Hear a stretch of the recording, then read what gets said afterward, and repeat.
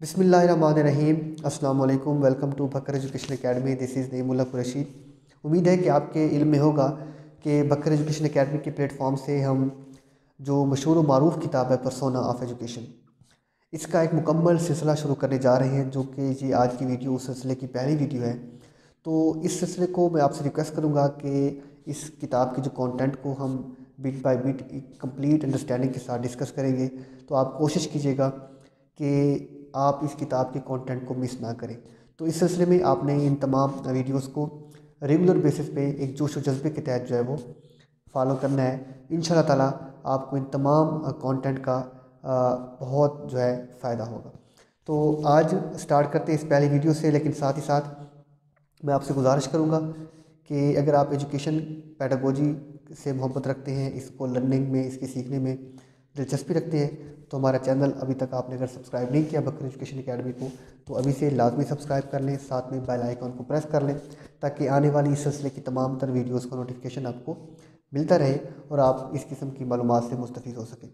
So start करते हैं आज के पहले चैप्टर से, जो परसोना ऑफ़ एजुकेशन का पहला चैप्टर है, जिसका नाम जो है इंट्रोडक्शन टू एजुकेशन है।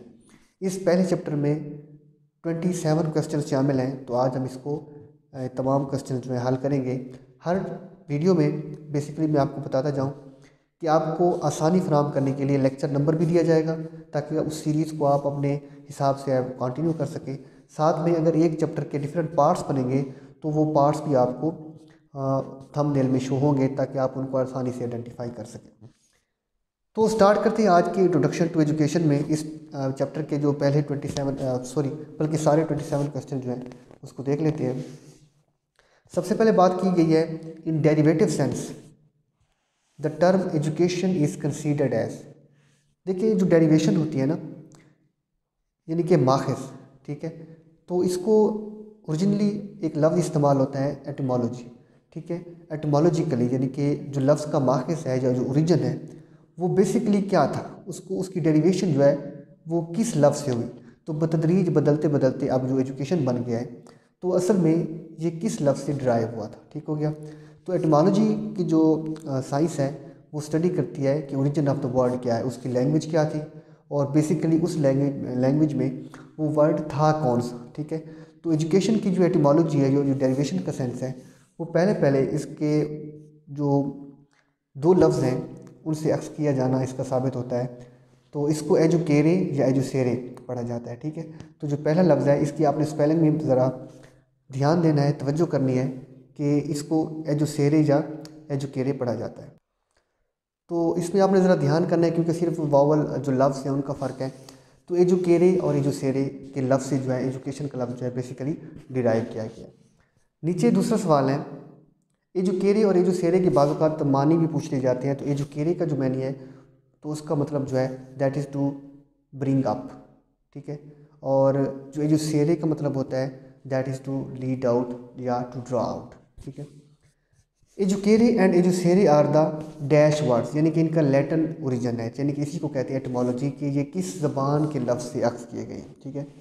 तो एजुकेरी एंड एजुसेरी के जो लफ्ज़ हैं वो बेसिकली किस ज़बान के लफ्ज़ हैं या इसके एटमोलॉजिकल ओरिजिन किस लैंग्वेज से है सो so, इसका जो लैंग्वेज जिससे इसका ओरिजिन है या इसकी एटमोलॉजी भी पूछी जा सकती है सवाल बाज़ इस तरह आता है कि what is the etymology of the word educere या एजुकेरे या एजुकेशन को भी पूछा जा सकता है। तो इसका जो ओरिजिन है दैट इज़ लैटिन सवाल नंबर तीन है जी, एक डेफिनेशन दी गई है। देखिए, जब आप एजुकेशन पढ़ रहे होते हैं तो हमें चीज़ों को साथ साथ याद करना होता है तो कुछ हिंट्स बनाने पड़ते हैं, ठीक है? तो मैं कोशिश करूँगा कि आपको साथ साथ हिंट्स भी देता चलूँ कि हमें चीज़ों को जो कि मेमोराइज आखिरकार करना ही होता है तो हम ज़रा उन हिंट्स के ज़रिए जो है ना, चीज़ों को अलग से उनको जो है ना आइडेंटिफाई कर सके और उनको आसानी से याद कर सके। अब ये डेफिनेशन है education is the capacity to feel pleasure and pain at the right moment ठीक है? अब ये डेफिनेशन दी थी प्लेटो ने। अब आपने ना इसको याद करना है, कैसे? इसमें दो लफ्ज़ इस्तेमाल हुए हैं। देखिए, बाकी तो दाएँ बाएँ के लफ्ज़ हैं, लेकिन इसमें पेन और प्लेजर के लफ्ज़ इस्तेमाल हुए हैं, ठीक है? तो पेन एंड प्लेजर और प्लेटो ये तीनों पी पी पी की जो है एक एक सीक्वेंस चल रहा है, ठीक है? तो आपने इन जो दो लफ्ज़ हैं पेन एंड प्लेयर को प्लेटो के साथ इस तरह एसोसिएट कर लेना है कि एजुकेशन की ये डिफिनीशन जो है is the creation of is is to feel pain and pleasure at the right moment तो आपने ये एक आइडेंटिफाई कर लेना है कि जो पेन और प्लेयर की जो डेफिनेशन है, वो प्लेटो ने दी थी, यानी कि पी पी का एक सीक्वेंस बना लेना है। नीचे एक बहुत ही मरूफ डेफिनेशन है कि education is the creation of sound mind in a sound body कि एक साउंड बॉडी में एक साउंड माइंड को क्रिएट करना ठीक है ये एजुकेशन है। अब बाज़ात बहुत सारे लर्नर्स जो है वो इस बात पर मिक्सअप हो जाते हैं कि साउंड माइंड और साउंड बॉडी की डेफिनेशन किसने दी थी प्लेटो ने दी थी या अरिस्टोटल ने दी थी? तो देखिए आपने याद रखना है कि प्लेटो ने जो दी थी वो तो पी पी पी वाली थी, थी यानी कि कौन सी? पेन एंड प्लेजर ठीक हो गया? तो प्लेटो। अब यहाँ पे sound and body sorry mind in a sound body ठीक है? तो ये sound mind in a sound body की जो डेफिनेशन है वो किसने दी थी? एरिस्टोटल ने दी थी। उसके बाद जॉन डेवी की एक मशहूर डेफिनेशन है और इसको आपको याद, ध्यान मतलब इसको मेमोराइज भी आपने कर लेना है क्योंकि बाज़ बात इंटरव्यूज़ में ये पूछ लेते हैं, ठीक है? तो क्या है जी? Education is the development of all those capacities in the individual which will enable him to control his environment and fulfil his responsibilities ठीक है? एजुकेशन उन तमाम तर जो कैपेसिटीज़ की फ़रोग है जो इन्वायरमेंट में अपना रोल प्ले करने में किरदार अदा करती है, ठीक है? इसके साथ साथ मैं आपको बताऊँ कि बाज़ात ये सवाल आता है, एक और स्टेटमेंट आती है और वो पूछी जाती है कि ये किसने दी थी? Education is the reconstruction and the reorganisation of the experiences ये भी जॉन डेवी की एक बहुत फ़ेमस डेफिनेशन है, ठीक है? तो जी, आपको याद होनी चाहिए कि education is the reconstruction and the reorganisation of the experiences ठीक है? तो ये डेफिनेशन भी जॉन डेवी ने दी थी, क्योंकि जॉन डेवी जो थे, वो प्रैग्मेटिस्ट थे और वो प्रैग्मेटिस्ट जो थे, वो एक्सपीरियंस पे बिलीव करते थे, ठीक है? इसलिए जो एक्सपीरियंस वाली डेफिनेशन है कि education is the reconstruction and the reorganisation of the experiences तो आगे जब ये हम पढ़ रहे होंगे फिलोसफीज तो इंशाल्लाह मैं आपको बताऊँगा कि इस डेफिनेशन का भी ये स्टेटमेंट का मतलब क्या है और प्रैग्मेटिज्म की फ़िलासफ़ी क्या है। छठे नंबर पर सवाल है जी the literal meaning of the term range is range of matter साफ़ ज़ाहिर है रेंज कहते कहते हैं हाई और लो के दरमियान या स्टार्ट और एंड के दरमियान किसी भी चीज़ के अदाद शुमार में जो हाईएस्ट और लोएस्ट पॉइंट के दरमियान जो है वो फासला होता है, वो उस मैटर की रेंज कहलाती है, ठीक है? तो ये सिंपली उसका जो है एक मीनिंग पूछा गया जी, उसके बाद है question number seven educational psychology is also called अब देखिए साइकोलॉजी का लफ्ज़ इस्तेमाल हुआ है साइकी साइकी का मतलब भी माइंड होता है, ठीक है? तो एजुकेशनल साइकोलॉजी यानी कि जब हम एजुकेशन में माइंड का इस्तेमाल करेंगे, ठीक है तो this will be called psychopedagogy ठीक है? यानी कि देखिए, जब हम एजुकेशन में साइकोलॉजी का इस्तेमाल करते हैं तो उसमें हम ये डिटरमिन करने की कोशिश करते हैं कि कौन से मेथड जो है वो ऐसे अडॉप्ट किए जाएँ जो बच्चों के लिए इंटरेस्ट का बायस हो, ठीक है? तो चाइल्ड लर्नर और उसकी नीड को जो है फोकस किया जाता है। तो एजुकेशनल साइकोलॉजी को साइकोपैडागोजी भी कहा जाता है। साथ साथ मैं आपको ना इन तमाम टर्म्स की थोड़ा बहुत डिफ्रेंशिएशन भी साथ साथ बताता जाता हूँ ताकि अभी से हमारी हैबिट डेवलप हो जाए और जब बाकायदा इनको डिस्कस करने की बारी आए तो फिर वहाँ पे ज़रा मज़ीद भी इन पर बहस कर लेंगे। तो मेथडोलॉजी तो होती है कि चीज़ों को प्रेजेंट करने का तरीका the way the things are presented the content is presented ठीक है? और एंड्रागोजी जो होती है, देखिए पैडागोजी होती है the methods of teaching use to teach children बाज़ात हमें ये एक खदशा, एक मुबहम से एक रहता है कि हम मिक्स कर देते हैं। हम ये कहते हैं कि teaching to the children is call pedagogy ना, देखें teaching methods use to teach children उन मेथड्स को जो हम चिल्ड्रन को टीच करने के लिए इस्तेमाल करते हैं दीज आर कॉल पैडागोजी और वो मेथड्स जो हम एडल्ट्स को यूज़ करने के लिए यूज़ करते हैं, वो मेथड्स जो हैं उनको एंड्रागोजी कहा जाता है, ठीक है? तो मैक्सिमम ऑफ़ टीचिंग जो है these are the tactics to present difficult terms in an easy way ठीक है? चीज़ों को, मुश्किल चीज़ों को ईजी आसान तरीके से पेश करने का जो तरीका होता है, उसको मैक्सिमम ऑफ़ टीचिंग कहते हैं, जिसको सिंपल टू कम्प्लेक्स में मूव किया जाता है, ठीक है? नाउन टू अननाउन में, ठीक है? और बाकी इन को आगे जाके डिस्कस करेंगे। तो एजुकेशनल साइकोलॉजी इस कार्ड क्या चीज़? साइकोपैडागोजी आठवां सवाल है if we want to make education a technical and systematic subject we will have to use तो हमें क्या यूज़ करना पड़ेगा? ठीक है, अब ब्लैक बोर्ड यूज़ करना पड़ेगा। ब्लैक बोर्ड तो ऐसी चीज़ तो नहीं है जो बहुत बड़ा रेवोल्यूशन है, ठीक है ख़ास तौर पर आज के दौर में। तो हमें क्या करना पड़ेगा? आज के दौर के हिसाब से क्या करना पड़ेगा? एजुकेशनल टेक्नोलॉजी को इस्तेमाल करने का पड़ेगा, ठीक है? डिफरेंट प्रेजेंटेशन करने के लिए इक्विपमेंट हमें चाहिए है डिफरेंट एड्स चाहिए हैं, ठीक है? तो इन तमाम चीज़ों को अच्छी तरह इम्प्लीमेंट करने के लिए हमें एजुकेशनल टेक्नोलॉजी यानी कि उन तमाम तर रिसोर्स की ज़रूरत होगी जो एजुकेशन को अच्छा इंटरेस्टिंग और बड़ा कैप्टिवेटिंग बना देते। हैं नामा सवाल है इट इज़ अ खाली जगह which gives direction to the education याद रखिए कि हमेशा एजुकेशन जो है ना, उसको डायरेक्शन जो चीज़ देती है, उसको जो ऑब्जेक्टिव्स देती है, वो हमेशा फ़िलासफ़ी होती है। एजुकेशन जो है, एक प्रैक्टिकल आस्पेक्ट है और फिलासफी जो है, एक थियोरेटिकल आस्पेक्ट है।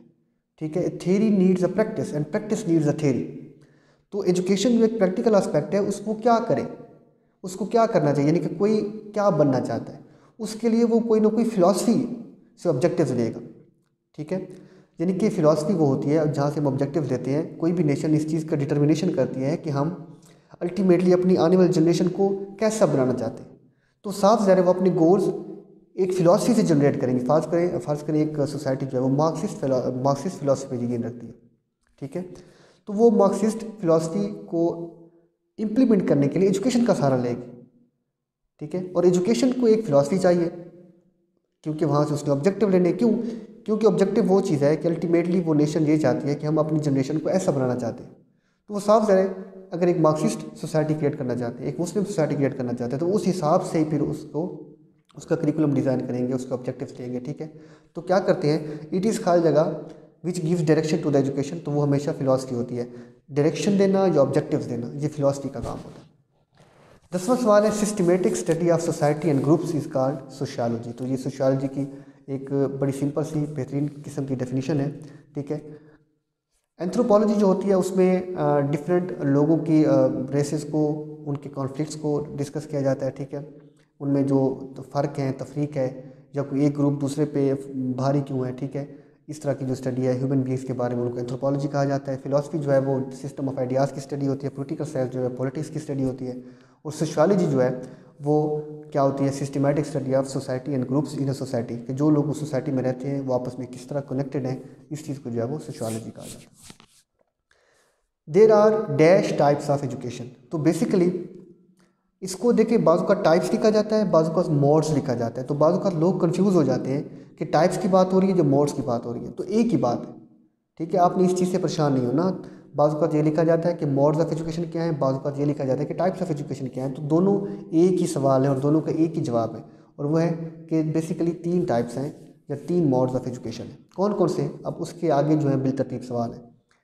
Three types of education are कौन से? Formal education informal education and third one जो है, वो है नॉन फॉर्मल एजुकेशन बहुत ही वेल नोन क्वेश्चन है कि फॉर्मल इनफॉर्मल और नॉन फॉर्मल एजुकेशन ये थ्री टाइप्स या थ्री मोड्स कहलाते हैं। अब ये हैं क्या? ये आगे चल के इनको पढ़ते हैं। तेरह नंबर सवाल है कि the process of teaching and learning which involve supervision instructions set plans definite aims and principle is called formal देखिए फॉर्मल कहते हैं बाकायदा। जो चीज़ बाकायदा होती है ना, उसमें कोई कायदा होगा, उसमें प्रिंसिपल्स होंगे, कवानीन होंगे जिनका इतला किया जाएगा। ठीक है? तो जो चीज़ फार्मल होगी, उसमें उसका सिस्टम होगा। जो फार्मल एजुकेशन होती है, देखिए उसमें सिस्टम सिस्टमेटिक होती है, उसका इंफ्रास्ट्रक्चर होता है, उसका करिकुलम होता है, उसका इवेलुएशन सिस्टम होता है, उसकी ग्रेडिंग होती है, उसकी असनाद दी जाती है। वो सीक्वेंशियल होती है, यानी कि छठी से सातवीं तरफ़ जाएगी, सातवीं से आठवीं तक जाएगी। एक सीक्वेंस में आगे बढ़ेगी। तो ये सारे आपने ऐड कर लेने हैं, ये सारे फीचर्स किसके होते हैं? वो फॉर्मल एजुकेशन के होते हैं, ठीक है? तो वो तमाम जिसमें बाकायदा सेट प्लान्स हों, कि जी हमने अचीव करना है सुपरविजन हो मॉनिटरिंग हो परफॉर्मेंस हो एवेलुएशन हो करिकुलम हो ग्रेडिंग हो इंफ्रास्ट्रक्चर हो टीचर्स हो करिकुलम हो, ये सारी चीज़ें जो है वो किसका हिस्सा है जी? फॉर्मल एजुकेशन का हिस्सा होते हैं, बाकायदा जो एजुकेशन दी जाती है। और यही वाली, वो वाली एजुकेशन है जो हम अपनी बाकायदा यूनिवर्सिटीज़ में देते हैं कॉलेज में देते हैं या स्कूल में हासिल करते हैं। उसके बाद है चौदहवा सवाल the process by which a person imbibes attitudes develop skills and cultivates values and requires knowledge लेकिन कहाँ से? विदाउट एनी ऑर्गेनाइजेशन और सिस्टम अब यहाँ पे विदाउट एनी ऑर्गेनाइजेशन यानी कि हम नॉलेज हासिल कर रहे हैं, हम वैल्यूज़ को हासिल कर रहे हैं सिस्टम से कल्चर से उसकी नॉर्म्स को वैल्यूज़ को परसीव कर रहे हैं सीख रहे हैं। लेकिन उसका कोई बाकायदा सिस्टम नहीं है। ना हमसे कोई उसको इवेल्यूशन करेगा ना कोई करिकुलम है उसका। हम एक लर्निंग कर रहे हैं लेकिन एक ऑर्गेनाइज सिस्टम से आउट हो गए। सो so, इसमें बाकायदा सिस्टम नहीं है जी इसमें बेकायदगी है। यानी कि कभी भी वो हो सकती है कहीं भी वो कूपजीर हो सकती है कोई पूछने वाला नहीं है कि क्या सीखा है क्या लर्न के नो ठीक है? तो इसको कहते हैं इनफॉर्मल एजुकेशन ठीक है? इनफॉर्मल एजुकेशन के बारे में एक और सवाल भी आता है कि ये लाइफ लॉन्ग लर्निंग होती है, एक कॉन्टीन्यूस होती है। जिस तरह ताजदार कहना वसल्लम का फरमान कि महज से लहद तक इल्म हासिल करना। जी जो महज से लहद तक का जो प्रोसेस है दिस इज़ इनफॉर्मल यानी कि हमें हर वक्त हम इल्म हासिल करते रहते हैं, ठीक है? डिफरेंट रिसोर्सेज से जो है डिफरेंट एलिमेंट्स ऑफ़ सोसाइटी से जो है, वो हम लर्निंग करते रहते हैं, ठीक है? तो वो तमाम चीज़ें भी हमारी लर्निंग में अपना हिस्सा अदा करती हैं रोल प्ले करती हैं। तो सिस्टम के बाहर जो हमारी लर्निंग हो रही होती है, वो क्या होती है जी? इनफॉर्मल एजुकेशन होती है। उसके बाद the education which is given और गॉड थ्रू कॉरस्पॉन्डेंस कॉरस्पॉन्डेंस किसे कहते हैं? ख़त किताबत is called non formal education अब नॉन फॉर्मल देखिए, ये है फॉर्मल लेकिन फॉर्मल बाकायदा फुल फॉर्मल नहीं है, बल्कि नॉन फॉर्मल है। क्यों? क्योंकि इसमें क्या होता है? नॉन फॉर्मल एजुकेशन में लर्नर और इंस्टीट्यूट उसमें फासला होता है। तो लर्नर उस इंस्टीट्यूट में जा के तालीम हासिल नहीं करता, बल्कि वो इंस्टीट्यूट उनको फैसिलिटेट करता है उनके अपनी पोजीशन पर, उनके अपने पॉइंट पर, ठीक है? तो बाद में इसकी बाकी डिफरेंट टाइप्स भी आ गई, जिस तरह जिस तरह मजीद दौर तरक्की करता रहा तो ई लर्निंग आ गई, ठीक है? उसके बाद डिस्टेंस लर्निंग आ गई, ठीक है? तो बाकी टाइप्स आ गई, लेकिन बेसिकली वो चीज़ें नॉन फॉर्मल का हिस्सा तस्वर की जाती थी, ठीक है? तो नॉन फॉर्मल क्या होती है? जिसमें लर्नर और उसका जो इंस्टीट्यूट है, वो आपस में फासले पर होते हैं और ख़तों किताबत के ज़रिए, ठीक है, पोस्ट के ज़रिए, ईमेल्स के ज़रिए और डाक के ज़रिए जो है वो उसका करिकुलम जो है वो सेंड कर दिया जाता है या कोई एक्टिविटी करा ली जाती है, ठीक है। जिस तरह फ़र्ज़ करें, गर्ल गाइड है। अब गर्ल गाइड किसी एजुकेशन या बॉय स्काउट है वो किसी के ऑफ़िस में नहीं होगी, बल्कि वो एक फॉर्मल स्ट्रक्चर के बाहर एक्टिविटी परफॉर्म की जाएगी, ठीक है? सो इस किस्म की जो एजुकेशन है, वो नॉन फॉर्मल एजुकेशन की कैटेगरी में भी फॉल करती है। उसके बाद है जी एलिमेंट्स ऑफ़ एजुकेशन आर सोलवा सवाल है कि एलिमेंट्स ऑफ़ एजुकेशन जो है, वो कौन कौन से हैं? तो ये बेसिकली चार हैं। ऑब्जेक्टिव्स करिकुलम मैथडोलॉजी और इवेलुएशन ठीक है? ऑब्जेक्टिव्स या एम्स करिकुलम पेडागोजी या मैथडोलॉजी एक ही बात है, ठीक है? और इवेलुएशन ये चार जो है इसके कंपोनेंट्स हैं, ठीक है? इसको कम सी ओ एम ई कम के नाम से भी आप याद कर सकते हैं, लेकिन वो ऑब्जेक्टिव्स हमेशा पहले आते हैं, ठीक है? ऑब्जेक्टिव्स फिर सी कंटेंट एम मैथडोलॉजी और ई फॉर इवेलुएशन ये चार उसके कंपोनेंट्स हैं। तो आपने क्या करना है? देखें इन चीज़ों को आपने मिक्स नहीं करना। एलिमेंट्स अलग चीज़ है और टाइप्स या मोड्स जो हैं, वो अलग चीज़ें वो तीन हैं। सवाल नंबर सत्रह है the aim of education are achieve through अब देखें जो एलिमेंट्स ऑफ़ एजुकेशन है वो है चार objectives content methodology and evaluation पहले पहले क्या किया जाता है? ऑब्जेक्टिव सेट किया जाता है कि हमने ये बनना है, हम ये बनाना चाहते हैं। अब वो जो गोल सेट किया जाता है, जो ऑब्जेक्टिव जो है वो ड्रा किए जाते हैं कहाँ से? फिलोसफी से। अब वो डिटर्मिनेशन की जाती है कि हमने ये बनना है। अब जो चीज़ बननी है, जो चीज़ बच्चों को इम्पार्ट करनी है, जो चीज़ इम्पार्ट करनी है, उसके हिसाब से हम क्या करेंगे? कंटेंट बनाएँगे, यानी कि करिकुलम डिज़ाइन करेंगे कि बच्चों को ये चीज़ पढ़ाएँ। फिर अगर ये चीज़ हासिल करनी है तो फिर ये करिकुलम पढ़ाना पड़ेगा। तो ऑब्जेक्टिव्स को हासिल करने के लिए हम क्या करते हैं? करिकुलम बनाते हैं। तो aims of education achieve through curriculum अब देखें करिकुलम को जब इम्प्लीमेंट करते हैं, नाफिज करते हैं, वो मैथडोलॉजी के लिए, के ज़रिए करते हैं। डिफरेंट टीचिंग मैथड्स को इस्तेमाल करके उसको इम्प्लीमेंट करते हैं, ठीक है? तो करिकुलम को जब इम्प्लीमेंट किया जाता है, वो मैथडोलॉजी के ज़रिए किया जाता है। और अब ये तयन करना पड़ता है आखिर पे कि हमने जितने ऑब्जेक्टिव्स का तयन किया था, जो बनना था क्या हम किस हद तक कामयाब हुए हैं उन ऑब्जेक्टिव्स को हासिल करने के लिए? तो आखिर पर फिर उसकी इवेल्यूशन की जाती है। तो पहले ऑब्जेक्टिव बनाए गए, उनको हासिल करने के लिए करिकुलम बनाया गया। उस करिकुलम को इम्प्लीमेंट करने के लिए टीचर्स के लिए टीचिंग मैथड्स यानी कि पैडागोजी पैडागोजी और मैथडोलॉजी डिवाइस की गई।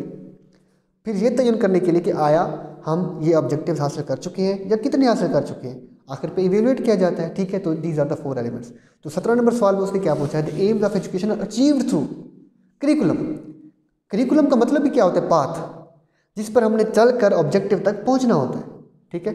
तो उसके ज़रिए हम क्या करेंगे? अपने ऑब्जेक्टिव्स को हासिल करेंगे।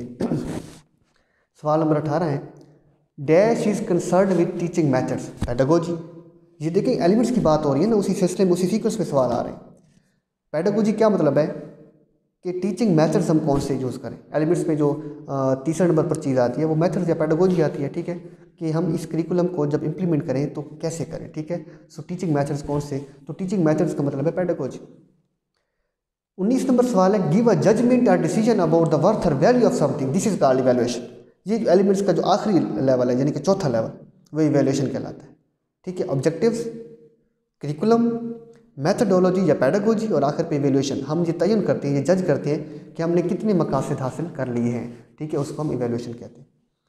Usually there are dash types of foundation of education ठीक है, जो फाउंडेशन ऑफ़ एजुकेशन हैं, वो चार हैं। अब कौन कौन सी हैं? अब देखिए मोड्स थ्री एलिमेंट्स चार मोड्स कौन कौन से हैं?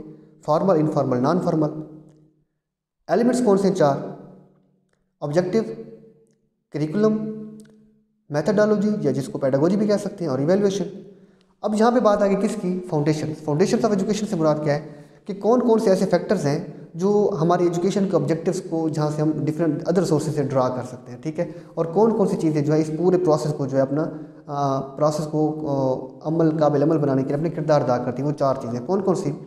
फिलोसॉफिकल जहाँ से हम अपने ऑब्जेक्टिव्स लेंगे, ठीक है? साइकोलॉजिकल जहाँ पे हम क्या करेंगे टीचिंग मेथड्स लेंगे और चाइल्ड के इंटरेस्ट की बात करेंगे। सोशोलॉजिकल के डिफरेंट सोशल क्लासेस कौन सी हैं सोशल फैक्टर्स कौन से हैं ठीक है क्योंकि हर सोसाइटी दूसरी से डिफरेंट होती है तो जो जो चीज़ें उस सोसाइटी में एक्सेप्टेबल होंगी उनको करिकुलम का उसके लर्निंग प्रोसेस का हिस्सा बनाया जाएगा ठीक है। हिस्टोरिकल का मतलब क्या होता है कि हर नेशन की एक हिस्ट्री होती है उसके हीरोज़ डिफरेंट होते हैं उसका आ, माजी में जो है राइवलरीज लोगों के साथ डिफरेंट नेशंस के साथ डिफरेंस होती है हीरोज़ डिफरेंट होते हैं, या कंपेनियनशिप डिफरेंट होती है तो वो उसको बुनियाद बनाकर उनकी हीरोशिप भी डिफरेंट होगी, उनकी फिर रेवलरी भी डिफरेंट होगी कंपेनियनशिप भी डिफरेंट होगी तो वो उसको सेलिब्रेट करने के लिए अपनी हिस्ट्री से भी चीज़ें ड्रा आउट करेंगे। तो ये चार चीज़ें हैं philosophical psychological sociological and historical इसको फोर फाउंडेशन ऑफ़ एजुकेशन कहा जाता है। उसके बाद नीचे ट्वेंटी टू सवाल नंबर है and accepted ways of life are called these are called culture culture क्या होता है?